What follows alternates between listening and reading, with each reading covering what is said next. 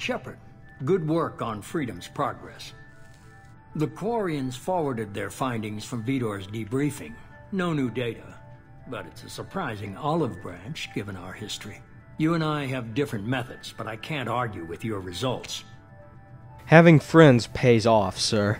You ever think about playing nice once in a while? Diplomacy is great when it works, but difficult when everyone already perceives you as a threat. But more importantly, you confirm the collectors are behind the abductions.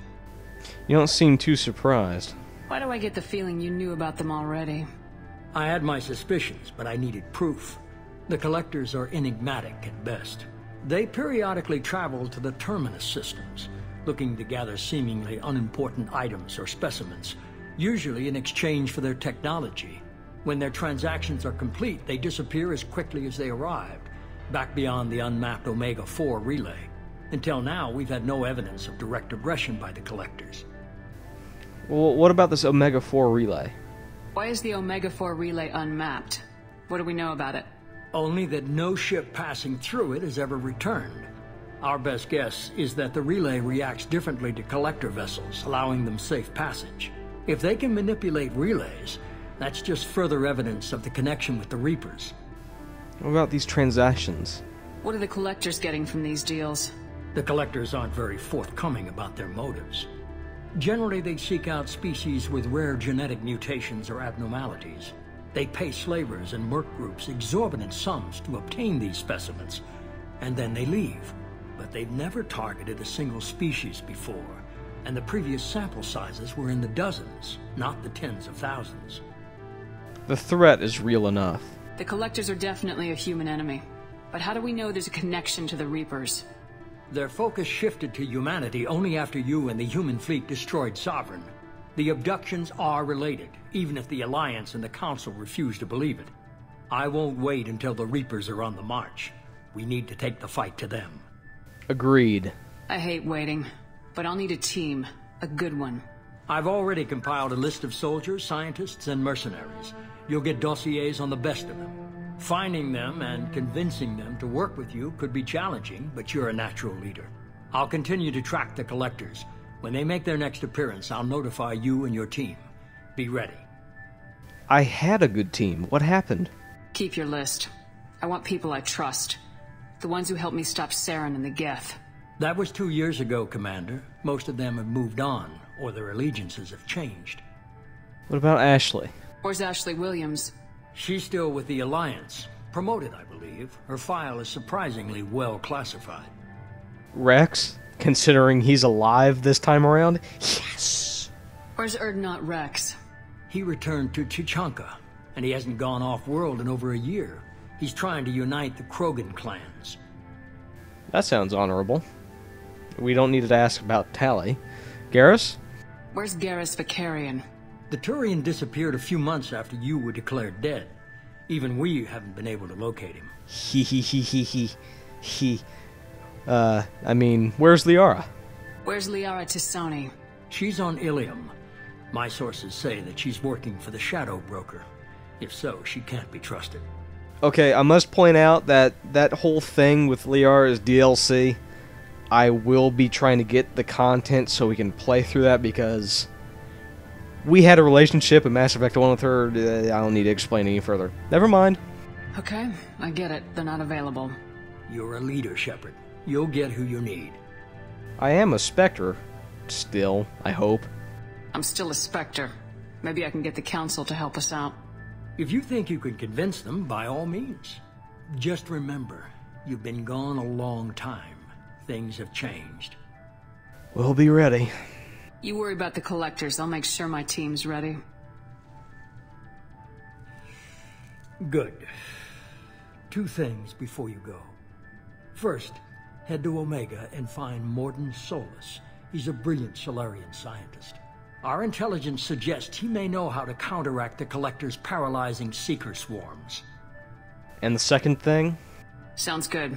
And what else? I found a pilot I think you might like. I hear he's one of the best. Someone you can trust.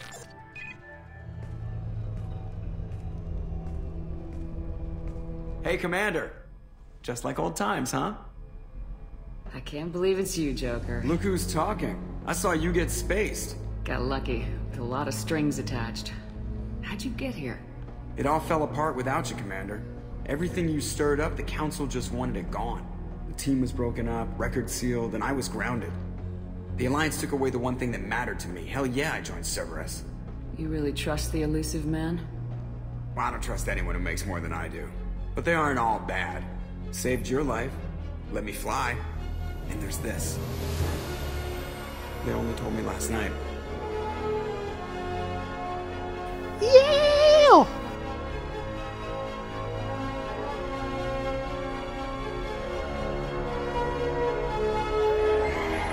She's back, baby.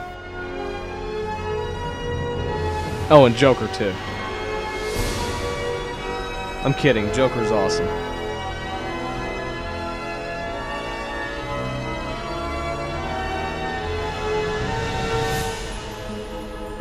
It's good to be home, huh, Commander? Yes. I guess we'll have to give her a name.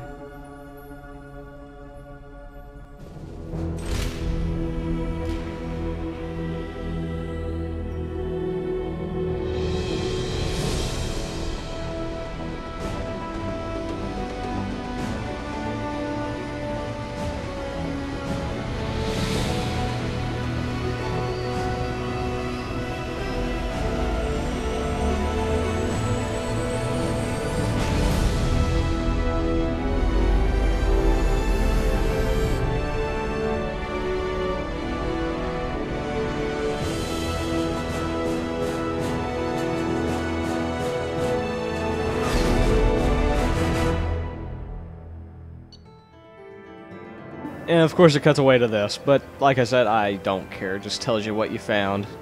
All the stuff. Yeah. There's that upgrade. 15%, which will come in handy. And that's all we need to know.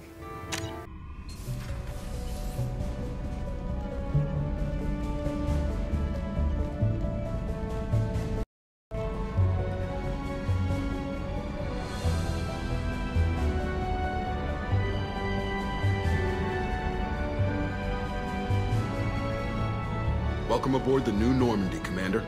Man. I've been looking over the dossiers. I'd strongly recommend starting by acquiring Mordin Solus, the Salarian professor on Omega.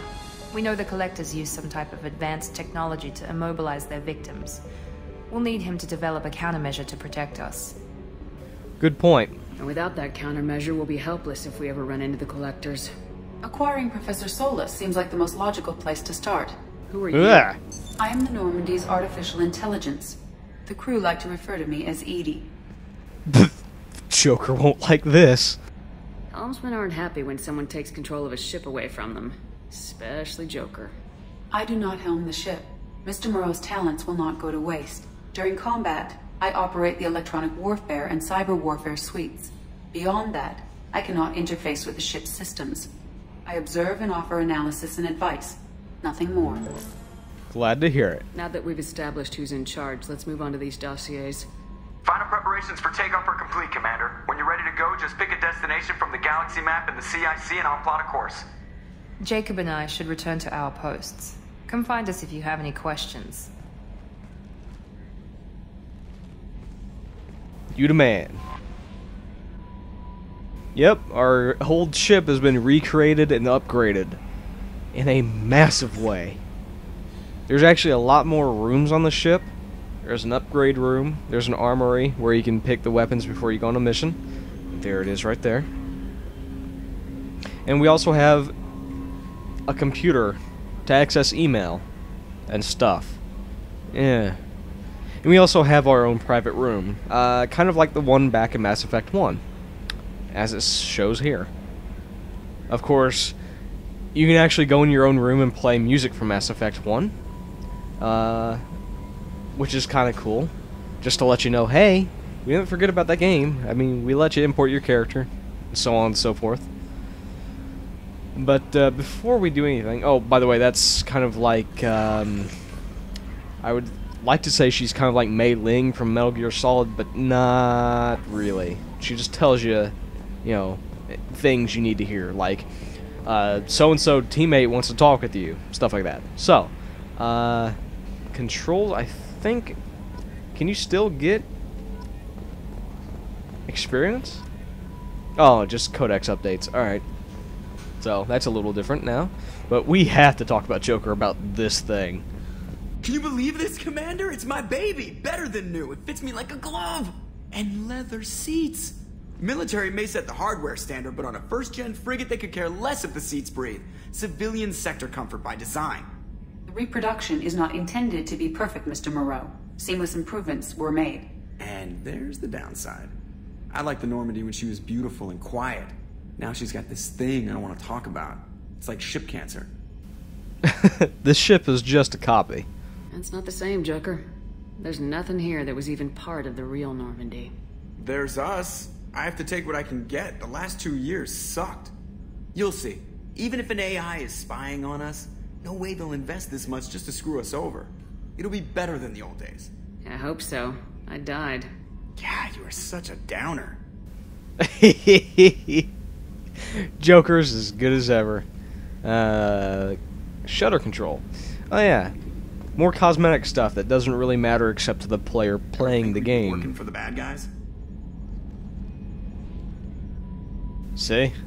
Now you don't have to look at the outside. I don't know why, but I guess you're you're a very sheltered person. Is there a problem with the, loves uh, being shut in. No? Oh, that's good too. And There's not much to do in the armory, the tech lab, which isn't even open yet. As you can see off the distance, it's red. Uh, let's meet Yeoman Chambers. I'm Yeoman Kelly Chambers. I've been assigned as your administrative assistant. I'll manage your messages and help you monitor the crew. And I must say, it's such an honor to work under you, Commander Shepard. Pleasure is mine. I'm glad to have you on the team, Ms. Chambers. Please, call me Kelly. Sure. Okay, Kelly. Anything else? How's the crew? Is there anything I should know? You have unread messages at your private terminal. Anything else, Commander? Nope. That'll be all. I'll be here if you need anything. Okay. Yeah, the Welcome aboard, Commander. Thank you. The conversations are kind of robotic, but that's because she's just kind of a notification thing. So, uh, don't need to check anything here because we don't have any upgrades. Um, there's our DLC guy, which I do not like. I'll get him, show you guys him, but I won't be using him because he's weird. Um, You Zaeed Massani? ugh. Yeah, that's me. Lost contact. Ooh, there's the old Normandy, which we'll be checking out. Because I would like to see what happened. Uh, we got the assault armor, which I shown, I don't know how long ago, but when I first opened up the friggin' menu for armor. And uh, we got a arc projector weapon thingy, which I may not be using for other challenge related reasons. Um, gotta go check out Anderson, Zaeed, blah blah blah. We already read all that. So, let, I mean, let's go ahead and check out the arc projector thing real quick. I mean, is it like a heavy weapon or something? Oh my god. Ooh. Screw it. I'll use it for a while. Or the entire game. I don't know. Yeah. Those weapons that we got supplied with on the first mission. Yeah. They're worse. Um, we'll talk to Jacob and the others later. First, let's go to the Citadel. Commander, you've received a new message at your What? private terminal. Huh? Already? What? No, he didn't. Ugh, woman.